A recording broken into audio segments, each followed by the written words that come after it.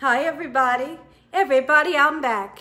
And today, today Gina Young is gonna show you all how to make a really quick and simple baked chicken recipe. This recipe is so easy. It's a lot of fun to make and listen here, it tastes so good. I wanna show you all how to make this. This recipe has been in my family for years and years. And I make this recipe at least twice, I wanna say maybe twice a month. My family cannot go without it. When there's days that we can't figure out what to eat, we'll all look at each other and say, baked chicken. I'll get those ingredients out. I wash my chicken really good, put that bad boy in the oven, and listen here, you can go sit down and relax because the spices, the way we wash our chicken, the spices in the oven will do the rest. You don't have to slave over a hot stove with oil. You just throw it in the oven. Here's what you're gonna need to make Gina Young's baked chicken. Now, before I show you the ingredients, if you are not a fan of chicken thighs, you can use any part of the chicken that you like. If you like the breast, if you like the wings or the legs, whatever part you like will work with this recipe as well. Here's what you'll need. Okay, so the ingredients that we have. We have one green bell pepper, as well as a half of onion. If you wanted to use the different color peppers, you absolutely can. We're going to use a little bit of this jalapeno. You don't have to use jalapeno. You can omit it. You can omit it from the whole recipe if you're not a fan of hot things. Me personally, and those of you that know me, you know that I'm really not a fan of hot stuff. But what I do do when I use a jalapeno is I take the white ribs out of the inside and I take the seeds out and that gives you a nice mild flavor. Not so hot where it's going to burn your pants off, okay? Just enough to tickle the back of the throat with the heat, okay? So then, you will need Sazon. Those of you that are familiar with me, you know that I love to use Sazon, especially, especially on chicken. It gives it a nice, beautiful color, and it tastes absolutely amazing. You will need one clove of fresh garlic. This right here, you would never guess what this is. This right here, you never guess what it is. So I'm going to show you.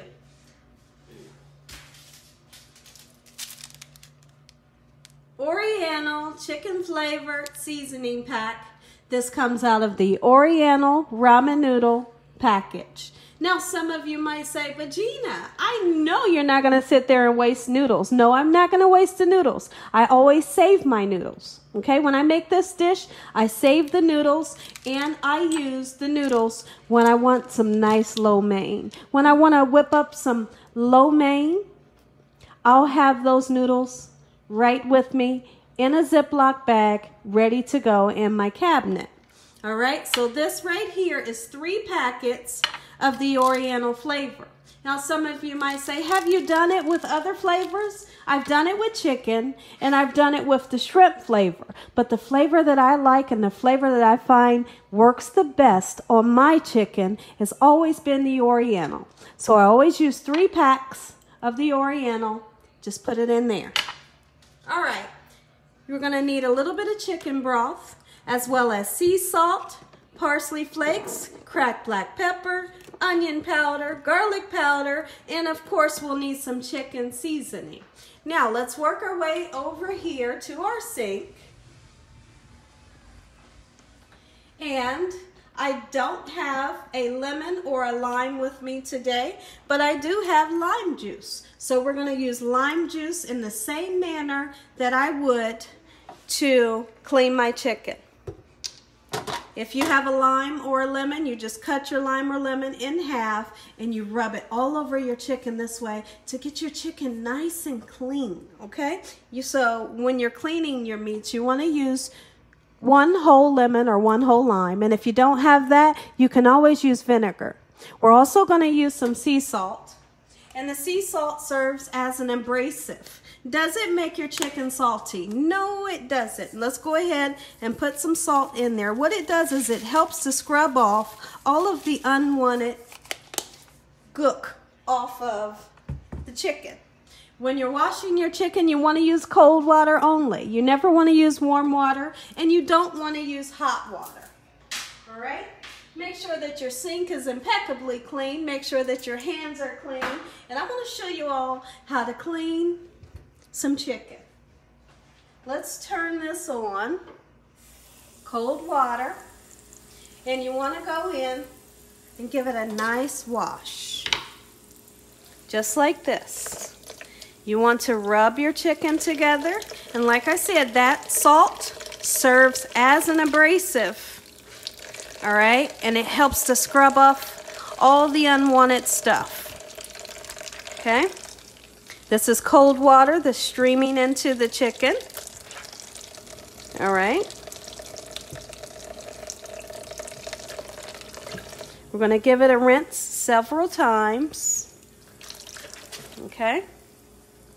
And make sure when you're done cleaning your chicken, you take the time out to clean your sink off again and clean the handles of your sink off as well. Make sure. I'm just draining some of the water. Now I'm going to wash my hands because anytime that you're dealing with raw meat, you always want to wash your hands so that you don't transfer bacteria. The reason why I'm going to wash my hands is because I want to grab that lime juice and I need to squeeze some lime juice onto our chicken. And I don't want to transfer bacteria onto the lime juice. Okay, everybody, I've washed my hands. Now I can grab the lime juice. All right, pour you some lime juice on there. Not only does the lime or lemon juice get your meat nice and clean, it also gives it a great taste. When people, listen here, trust me when I tell you this, when people taste my meat, they say, oh my goodness, like, what did you do? And honestly, it's the way you clean the meats. You have to clean the meats in such a manner you know, you have to get those meats nice and clean. We're going to take the skin off and any unwanted fat. Okay, so we have this cutting board here and I'm going to show you how to do that. We have kitchen shears and we're going to cut off all of the unwanted fat and then we're going to wash this chicken again. Okay, but I'm just going to show you how to do one. Cut off all of the unwanted fat some will be white, some will be yellow. You don't want to digest it. Get rid of it. And the best way would be using kitchen shears or a knife. And the skin, it comes right off. This recipe here does not require the skin to be left on. I don't suggest that you leave the skin on for this recipe. There's plenty of other recipes that I have that requires for the skin to be left on, but not this one. All right, so you want to take off all of this fat all of the skin. This is how clean your chicken should look. Check me out, guys. You see that there? Beautiful, nice, clean chicken. And you want to even come through this way. Come through this way and get all that off of there. Much as you can. All right? Just like so. Let's double back and look at this side. And I see there's some fat there that we don't want. Just cut it right off. This right here is what you call one nice, nicely clean chicken thigh. This is what it should look like. See that? Beautiful. I'm gonna get that fat out of there. All of that's unwanted. There it goes, beautiful. And then we're going to give our chicken a nice wash.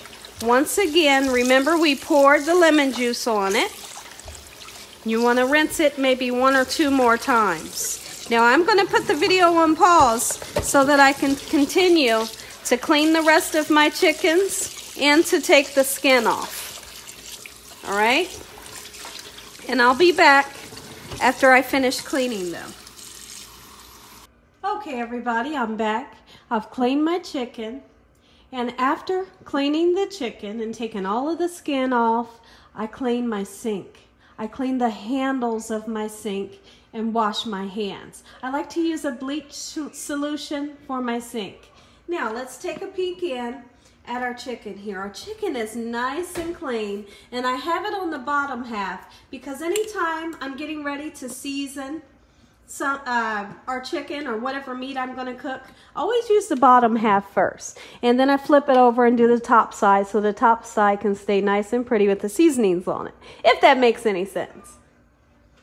Okay, everybody, so I have, mil well, I was going to say millions, but I have thousands and thousands of people that message me every time I make chicken and they say, Gina, you are not supposed to be washing your chicken. Listen here. Honey, as long as I'm living, as long as Gina Young is living, I'm going to wash my chicken, honey. You hear me? Absolutely, I am. And then some people say, well, the USDA says you're not supposed to wash it. I'm going to wash my chicken.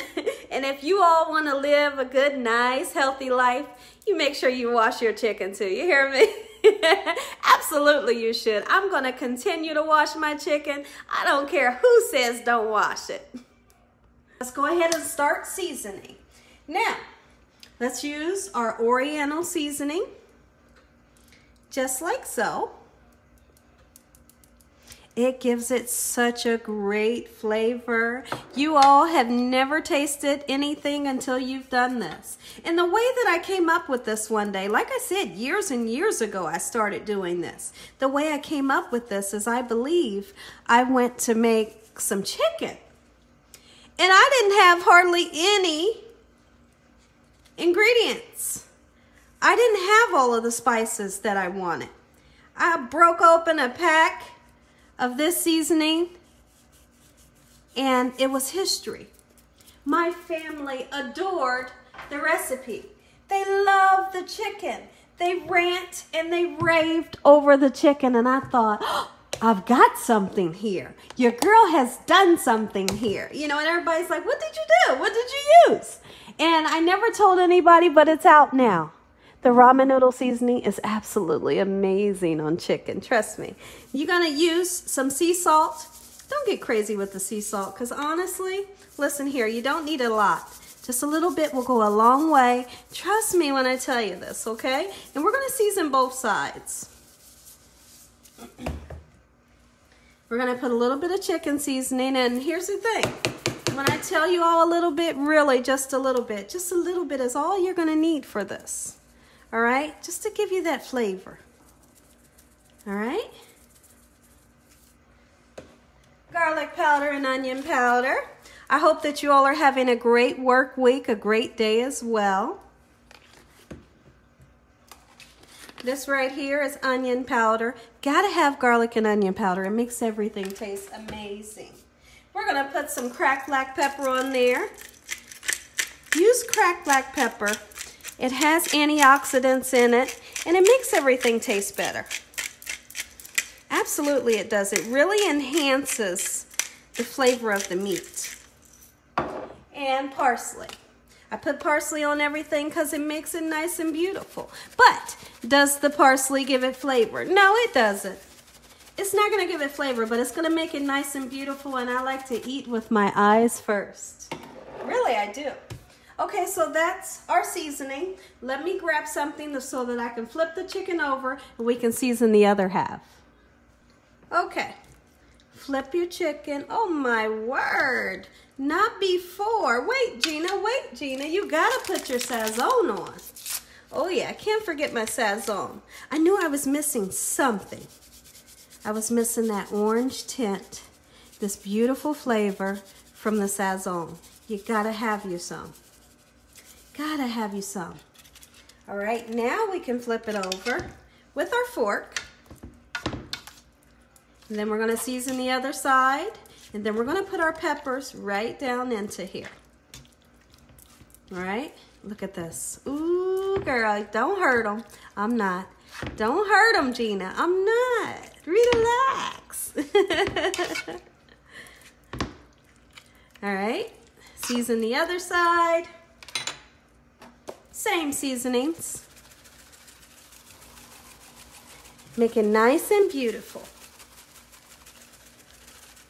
Ooh, chicken. I can't wait to eat this chicken. My word. We're going to have a little bit of stuffing on the side. And it's just stovetop stuffing. And then we're also gonna have some green beans as well. And that's dinner for tonight. That is dinner for tonight. And this isn't gonna take me any time. Like I said, you just throw this together and put that in the oven and you are set. Onion powder, garlic powder. I'm not gonna put the chicken seasoning on the top. You don't need it on the top. All right, a little tiny bit of sea salt. Don't get crazy with it. You already put some earlier. That right there is enough, that's enough. All right, sazon. Oh yeah, baby. Ooh, I'm excited for this chicken. Mm, mm, mm. Who doesn't love baked chicken? I know I do. You know, sometimes you don't want the heavy weighed down fried chicken with that thick crust from flour. You know, sometimes you just don't feel like that. You just want something that's going to be nice and healthy. You bake it in the oven. You don't have to slave over the stove. There's that. Now, let's go ahead, chop up our beautiful veggies. If you want to chop it up big, you can. If you want to do slices, you can. However you want. If you want to chop it up really fine, absolutely you can. I'm just going to do mine's kind of medium because I like to taste the vegetables. I like to taste the onions and the bell peppers. Absolutely I do and put them in here. You can put them up under the chicken. You can throw them on top. Whatever you do would be just fine. Make sure that you have your oven preheated to 375 degrees if you haven't done so.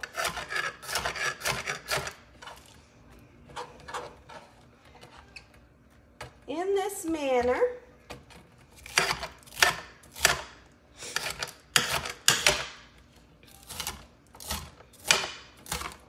Oh, and these are just to kind of cook down into Flavor Town. You hear me?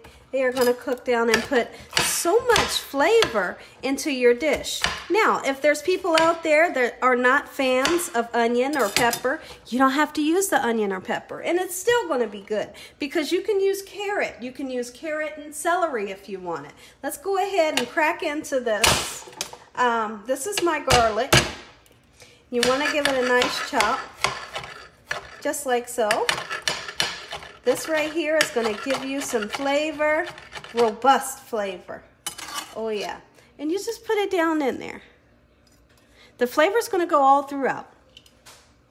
This here I'm going to use just a little bit, just a little bit. And I don't have any of the seeds and I don't have any of the ribs. So I'm just going to do just a little. Like I said, you don't have to use this if you didn't want to. going right on in. You season that chicken up. You season that chicken up. Put a little tiny bit, just a little bit of heat onto that chicken. Now watch this. I'm going to lift some of the pieces up and let some of the veggies go underneath. And I'm going to let some of the veggies stay right on top. All right, we're going to put a little bit of chicken broth down into our pan. This goes in the oven uncovered uncovered. Don't cover this up, okay? If you cover it up, it'll just steam and it won't turn out right. All right? So I have some chicken broth. You can use vegetable stock if you wanted to. Don't pour this chicken broth right on top of your chicken because what will happen, trust me when I tell you this, you'll rinse all of those beautiful spices away. Okay, and I'm just putting a little bit in there. Just a little bit because that little bit of chicken broth will mix with the beautiful chicken juice that comes out of the chicken as it's baking. This is going in the oven 375 degrees. When it comes out, I'll let you know how long it took to cook. We'll say a nice prayer over our chicken. We'll give it a taste. I'm going to let you all know what it tastes like. Be back. Okay, everybody, our chicken is done. Our chicken has cooked for 45 minutes to perfection. Let's get this chicken out of the oven. Let's say a quick prayer real quick before we dive into this beautiful chicken. Lord, we thank you for today. We thank you for your love, time, your mercy, and your understanding. I thank you, Jesus, for feeding us. I thank you for the roof over our head, the food that you feed us, and the love that you give us daily. I pray that no weapons formed against us shall prosper. We bind the devil away from every area of our life. Devil, you have no authority. Devil, you have no authority over this household. Jesus, I invite you into my home. Jesus, I invite your angels into my home. I love you, Lord. I love you, Lord. And I thank you for the relationship that we have together. I thank you for your mercy. Please forgive me for my sins.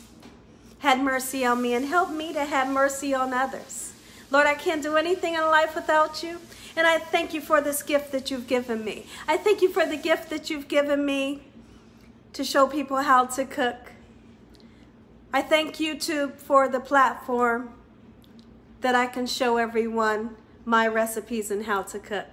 God bless this meal. Once again, amen. Okay, everybody, let me show you the food. Our food is done. Let's come down onto the picture. And I don't think I'm gonna make a plate today.